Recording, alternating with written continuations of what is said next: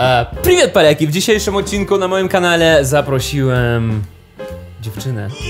Gabriela, cześć. Gabriela Filmowa. Powiedz proszę, dlaczego masz rosyjskie nazwisko? Talaczek to jest rosyjskie nazwisko. A, okej, ja myślałem, że Filmowa to jest twoje prawdziwe nazwisko. Filmowa to jest mój pseudonim na social mediach, takich jak e, Instagram i TikTok. Aha, czyli zajmujesz się tym samym co ja i próbujesz się wybić na YouTubie. Na tobie. Na, na mnie na YouTubie, tak? No to Tak. właśnie, subskrybujcie proszę bardzo. Kanału niestety nie ma, ale ma... Nie, no coś tam dodaję, ale shortsy. A, shorty dodajesz? Okej, no to właśnie e, dzisiaj nagraliśmy też e, wspólnego shortsa. To się nazywa shortsy, bo ja już jestem za stary. A na Instagramie są rolki, Mhm. a na TikToku są TikToki. A czy ktokolwiek mówił, e, mówił cię, że masz ładny głos? Nigdy się nie zdarzyło. Nigdy się nie zdarzyło, nikt, nikt nie opowiadał. No to dobrze. W dzisiejszym odcinku będziemy nagrywać na biedaka, na przykład ja trzymający mikrofon. Niestety na święta, na święta sprzedałem wszystko i nie mamy teraz. Żeby kupić prezenty. Dokładnie, wszystkim swoim kochanym przyjacielom. Właśnie mamy bardzo ciekawe przeci- przy- przeciwieństwa, ponieważ osoba, która rozmawia idealnie po polsku i Osoba, która mówi bardzo dobrze w języku polskim. Dziękuję bardzo. Ja czekałem na to, ja właśnie czekałem na komplementy z twojej strony. Dziękuję. Znaczy, wiek dojrzałości, głos ci się zmienił i ty tak, o, będę, opowi- będę tak rozmawiał. Y, To nie było tak do końca, że mi się w tym wieku dojrzałem, czy mówimy o 18 roku życia, tak? A nie wiem, każdy ma, każdy to ma różnie. Ciężko przy nim jest zachować powagę, przepraszam. Tak, w wieku nastoletnim ten głos się zrobił niższy i bardziej taki lektorski, można powiedzieć. Ale to nie był taki zamiar, y, już u mnie zamysł, że o, będę działać głosem. A, tak? Ktoś ci zwrócił uwagę na to, tak? Powiedział, że... ej, Tak, na pewno słyszałam bardzo dużo takich komentarzy. Ej, weź ty coś zacznij z tym robić. Tak. Nie? I wtedy ta myśl się faktycznie u mnie pojawiała. No a teraz jest to moim źródłem utrzymania. Naprawdę? Ty zarabiasz głosem? Tak. Ja bym też bardzo chciał zarabiać głosem tylko, a nie głosem i obrazem, ponieważ montować filmy to jest, wiesz, to jest bardzo ciężko. No w sensie, to dużo zajmuje, to dużo pracy tak naprawdę. Też w sumie nagrywam te TikToki i rolki i tam też zajmuję się montażem filmu. No wi- wiadomo, inaczej jest w reklamach, inaczej jest w przypadku audiobooków, w przypadku filmów instruktażowych.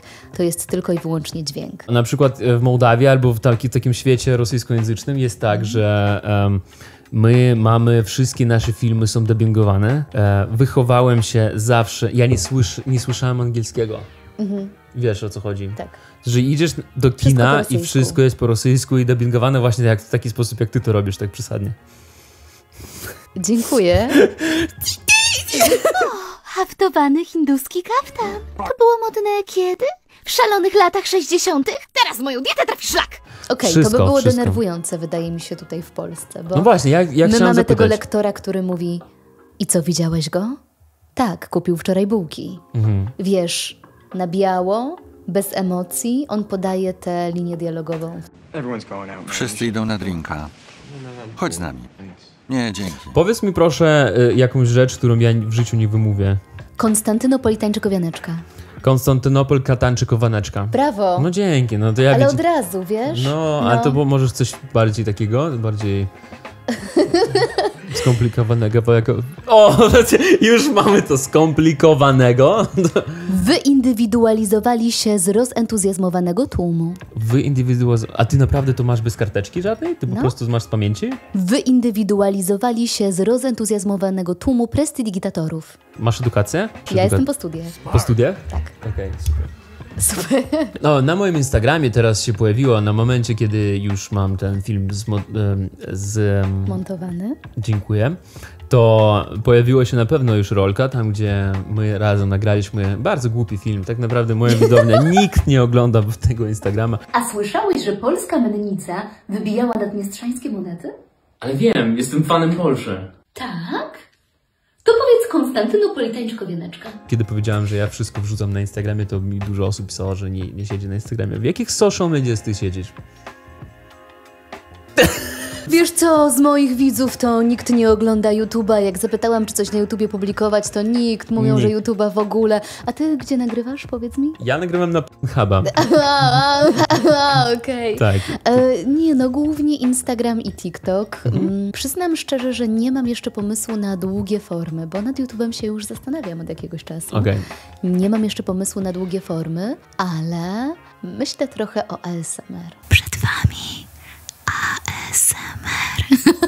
Jeśli wyłączyliście film na tym momencie, to was ASMR i denerwuje, bo ja należę do takich osób, których mi ASMR jakby wchodzi do, do Tak. tutaj, do mózgu. Tak, włosów. tak, tak. No i jakby te, nie wiem, nie wiem jak, nie wiem jak to go traktować. Jak ja miałem temperaturę wysoką, jak miałem tak 39, no tak 38,7, no może tak, nie? To zdarzyło się mi tak, że mm, ja miałem halucynacje e, i właśnie ASMR, właśnie taki przypomina mi się po prostu ta, ta sytuacja, kiedy ja miałem Byłeś chory? I... tak, byłem chory i, i mi to trochę przeraża, bo to było w nocy i ja, byłem, ja miałem z 10 lat, no to, to jest naprawdę przerażające dla mnie. Ciekawe, czy rosyjski ASMR kiedyś był zadziałał? Czy ty jesteś fanką polskiego języka tak, jak ja jestem fanem Polszy? Ja jestem fanką polskiego języka, bardzo lubię rozmaitość polskiego języka, ale to nie jest tak, że ja powiem, że polski jest jedynym językiem, w którym ja się lubię porozumiewać i, i koniec. Na pewno nie. Zgadzasz się z tym twierdzeniem, że na przykład każdy język to jest nowa osobowość?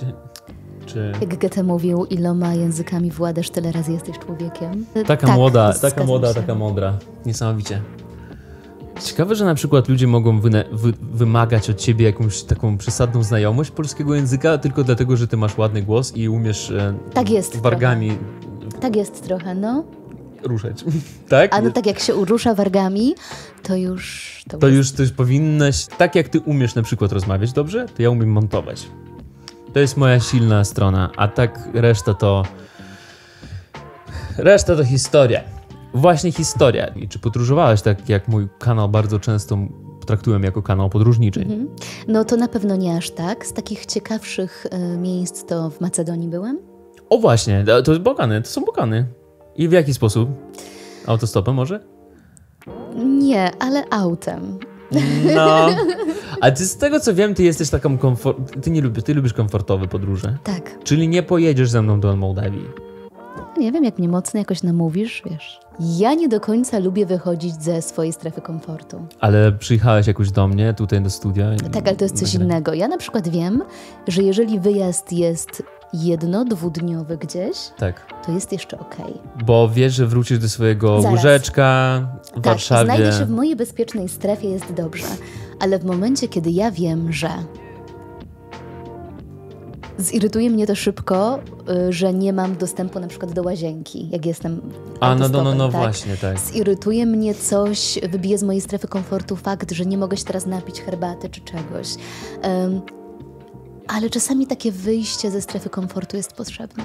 No jest potrzebne, bo wracasz trochę inną osobą, trochę mocniejszą czasem i osobą, która jednak potrafi chodzić do toalety gdziekolwiek. No wiesz co, są różne definicje wolności. Dla ciebie może to być spakowanie się do jednego plecaka, wyjazd bez planu gdziekolwiek, autostop to jest życie, tak? No. Dla innej osoby definicją wolności jest to, że ma osobę, którą kocha przy sobie i może się nie hamować w żaden sposób, tak? Może przy niej być taka, jaka chce być i z nią tworzą taki, taką relację, w której mogą być w 100% sobą, tak? Dla trzeciej z kolei osoby wolnością może być fakt, że ona siedzi w pracy od tej do tej godziny, ale zarabia tyle pieniędzy, że sobie może wyjechać na takie jakieś Że fajne sobie kupić wakacje. osobę, z- obok której może być. Tak, a Jordan Peterson powie ci, że wolność to odpowiedzialność i dealuj z tym, nie? No, Jordan Peterson to jest the man. Jordan I- Peterson powie ci posprzątaj w swoim pokoju. Clean up your room. I to jest wolność. Uważam, że na Tak. przykład jak masz posprzątane w pokoju, to jest To w wolność. głowie też masz posprzątane zazwyczaj. Albo Zazwyczaj starasz się tak, przynajmniej no. trochę w tego porządku tam wprowadzić. Jak widzisz, jak widzisz Jak co się widzę. dzieje, tak, co Tak. się dzieje tutaj, to... Ale to im poimprezowo, to Sylwester. Ja mam fatalną orientację w terenie. Tragiczną. Tak? Bardzo złą. W sensie na przykład jak e, ja ci wypuszczę teraz tutaj, to ty pójdziesz w inną stronę, w stronę No ambasady Mołdawii? W stronę. Tak. i będziesz zapukam myślała, że to ratusz Arsenał. I powiem, przepraszam, ja to chyba mieszkam. Mam bardzo złą orientację w terenie, jak ja nie wiem, gdzie jestem. Znajduję się w dziwnym, obcym miejscu. Ym, ja wpadam w panikę, denerwuję się. Dlatego taki wyjazd... Ty nie wiesz, na co się piszesz. Ale, ale pod, wiesz, pod em, skrzydłem. Skrzydłami? Bo ja mam jedno tylko skrzydło, A bo dru, drugim ja będę trzymał mikrofon cały czas podczas Okej, wyjazdu. Dobra. Pan bardzo może być udany, poni- ponieważ ja uważam, że wyjazd ze mną to. To jest. Wycieczki z Romanem. Bardzo polecam. Tak, tak, poproszę. Ja, ja, ja będę potrzebował reklamy takiej. Chciałbyś no, zwiedzić Mołdawię? Wow, wow. Jesteś zainteresowany Naddniestrzem? Wyłącz swój mózg. Roman za ciebie wszystko zdecyduje. Właśnie o to chodzi. Znajdź się pod skrzydłem Romana. Jezu. I mam nadzieję, że wyglądasz tak pięknie, jak wygląda mój laptop i moja matryca na laptopie, które niestety... To musisz być bardzo urodziwą osobą, tak, faktycznie. dokładnie, niestety się zepsuła. Proszę powiedz wi- widzom, bo wi- widzowie teraz, a zwłaszcza ci, którzy się interesują skąd masz pieniądze, e, to właśnie powiedz proszę, jak można zarobić głosem. Omijamy ten fakt, że trzeba się urodzić po prostu z dobrym... A niekoniecznie. A można to wyćwiczyć? Właśnie, ja, ja to właśnie chciałem zapytać, czy wierzysz w talent? Y, Słyszałam, że bardzo można to wyćwiczyć. Znam osobiście lektorów, którzy ciężką pracą naprawdę to zrobili. Bo mieli bardzo wysoki, gwizdkowy, taki wiesz, głos ym, niezbyt przyjemny dla ucha. Przyjemnie słucha się tych niższych tembrów. Tak, tak, no I to oni prawda. naprawdę zrobili robotę. No bo wydaje mi się, że tam jest o podstawę tego wszystkiego, temu wszystkiemu, to jest oddychanie, tak? Czy nie? Ważne jest, no na pewno jest ważne to, czy twój, ten twój głos jest przyjemny dla odbiorcy, czy on cię chce słuchać najzwyczajniej w świecie, prawda? Czy ten klient jest w stanie zapłacić za tę usługę, którą mu chcesz sprzedać. No tak. Są różne portale dla flira... Trum. O, o, Są? o, o. Nie, nie Tak, spoko, okej. To jest okej. Są różne portale dla freelancerów. Tylko trzeba wówczas już dysponować własnym sprzętem, No tak. i mieć swoje demo i tam pozyskujesz zlecenia. Ale można również uderzać do różnych banków głosu i tam starać się zostawiać próbki, próbować. Ktoś się odezwie albo nie, zazwyczaj nie odzywają się tak szybko. E, Jest to metoda prób i błędów. Znasz mnie z TikToka, tak? E, Mój kolega, który jest z Mołdawii, on przyjechał tutaj, on w ogóle, on, on nie znał oprócz rumuńskiego i rosyjskiego, on nie zna in- innego języka. Przyjechał tutaj, on mi zaczął pokazywać, bo on, on jest w tym e, trybie aktywnego, akty, Nauki. aktywnej nauki języka. Polskiego. Tak, i on mi zaczął pokazywać TikToki różnych twórców, raperów i tak dalej. Jakiś patrz, patrz, patrz i, i pokazuje ciebie. Mhm. I ja tak, wow, fajnie, follow. Niesamowicie i ciekawe, jak, jak ona rozmawia, jak ona, jak, jak ty rozmawiasz w rzeczywistości. Mhm. I potem jak spotkałem ciebie na tym, Na tych na tych urodzinach? na tym kocu Tam był rozłożony koc. i zrozumiałem, że ty rozmawiasz tak na co dzień. I to mnie szokowało. Mhm. Ja mięk- te- te- mam to w sobie na co dzień po prostu. Tak. Tak, i to ludzi dziwi też, to faktycznie. Bawi mi bardzo twoja seria tego, jak przyglądasz Tindera. Mhm.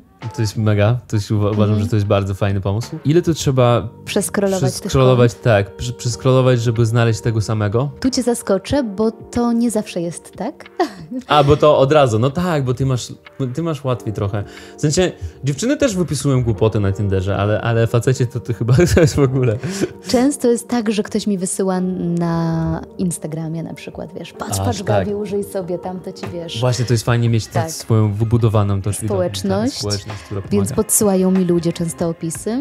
Są też takie grupki, na przykład mistrzowie Tindera, la la la la la, A, no, no, no, tam no, sobie no, no, wchodzisz. tak, Ale przyznam szczerze, że nieraz buszowałam po tych Tinderach, żeby to znaleźć, żeby nie? znaleźć to. no. I wtedy jest fajnie, bo jest to coś, coś takiego oryginalnego, czego nikt nie ma. I różnie jest. Czasami masz taki dobry dzień, że sobie poskrolujesz i jest takich perełeczek, takich mm, No właśnie. dużo, nie? Karol 30 lat. Jak kawa, to tylko czarna. Jak wino, to tylko najtańsze. Jak kobieta, to tylko jakakolwiek. Wiele osób myśli, że ja to traktuję na śmiertelnie poważnie i ja myślę, że one też są pisane tak w 100% poważnie. To jest satyra. Ja wiem, że ktoś sobie robi też żarty, więc... A tak, tak, bardzo. down. Zauważyłaś, że bardzo często ludzie odbierają coś na poważnie, Tak, kiedy ty a może opisy dziewczyn też sobie poczytaj. Albo coś takiego. A może z twojego się pośmiejemy. No właśnie, nie, bez takie- urazy, no, no, no, właśnie, tak. Ty, ty, ty rozmawiasz w innych językach też, tak? Czy Po angielsku. po angielsku tylko tak? Czy to prawda, że w każdym języku też głos inaczej działa? Tak. Bardzo inaczej. Po włosku mówisz wyżej. Wyżej.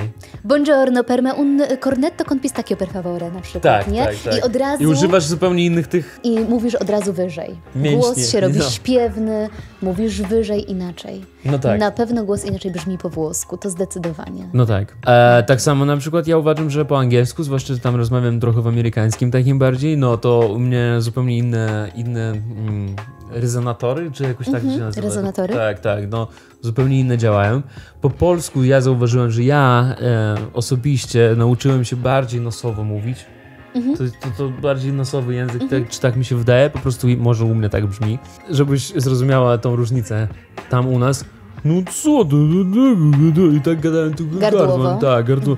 No. Nawet nie widzisz osoby, a już wiesz, że to z Ukrainy ktoś. Ja, ja, ja mówię, no tylko ta barwa głosu, takie, a szu ty nie poszło. Aha, Trafiłem do granicy i pierwszy Polak, którego zobaczyłem, to był em, celnik.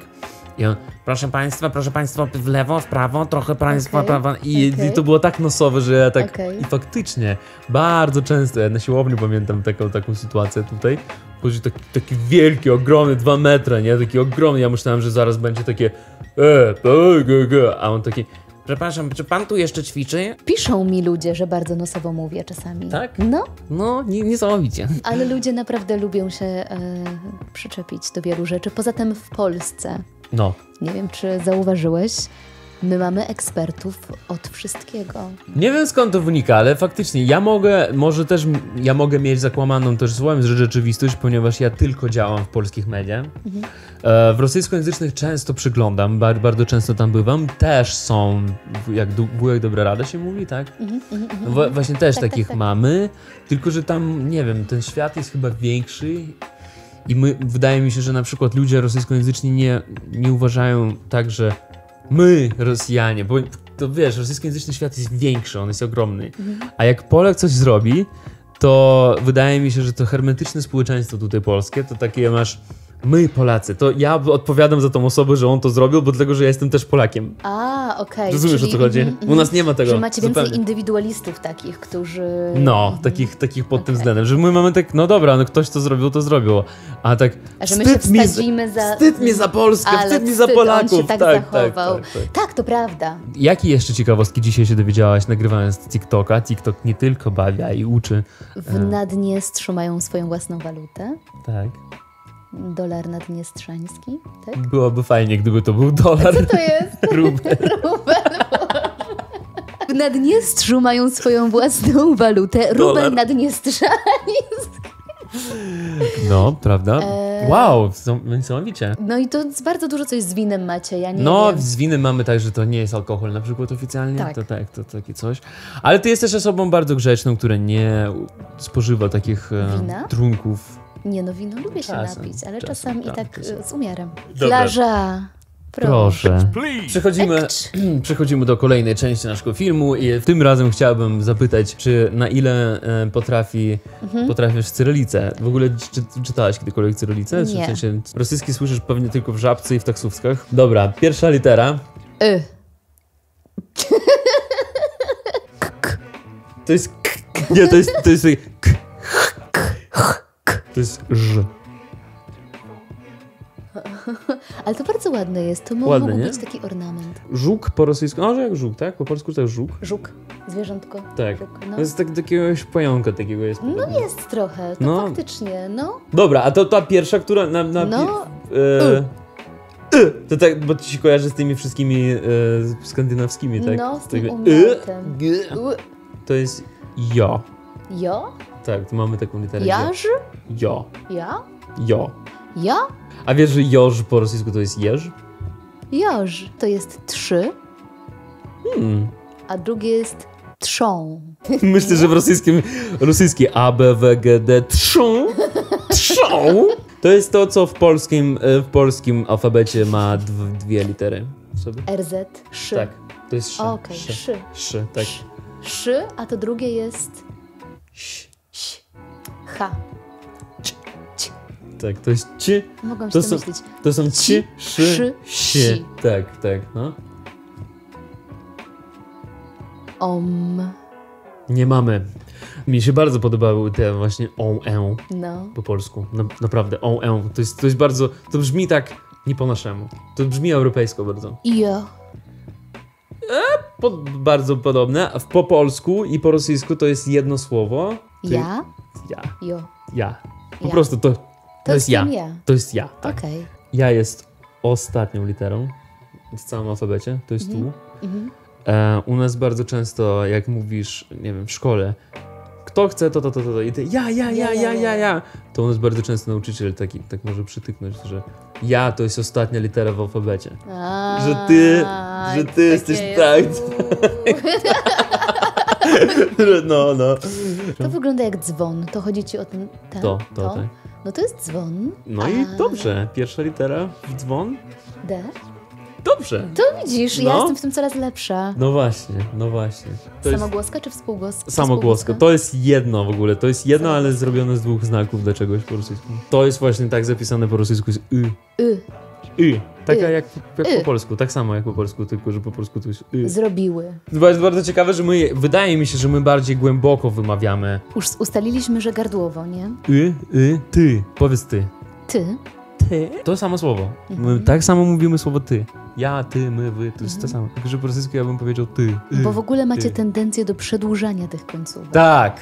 By nie powiedzieć, Co ty chcesz? Tak, Ale tak. dlaczego ty robisz, no? ja nie wiedziałam. Nie wiedziałam. Ja nie wiedziałam. I wydaje mi się, że to wynika też, ja też, też analizuję to wszystko. Ja mam teorię, ale to są teorie tylko, że to jeszcze wynika z tego naszego wychowania. To my wy- wydłużamy wszystko, prosząc od matki coś. Aha. Mama, mi no proszę. I to u, u nas na przykład zostaje to w jakiś sposób. Mhm. W Polsce też się prosi mamy o coś. Nie, mamo, dasz mi to i to. No bo w Polsce dostajesz za takie coś. A tam nie? Jeszcze mocniejszy. Tak mocniejsze, że ci zaciąga takie. Tylko przekraczasz granicę. Polska. Jakieś tam na przykład w autobusie jeszcze disco polo, albo tam w taksówce disco polo, takie. To jest polskie piosenki, tak? To są, tak? To są... No, no, no. Okej. To właśnie to słyszę w radiu codziennie. Takie, takie, Aha. takie przekraczasz granicę. Na przykład Ukraina ma tendencję do takich płaczliwych piosenek, takich o, moja rodzina. Wiesz, nawet o, o, o miłości oni zawsze też, też...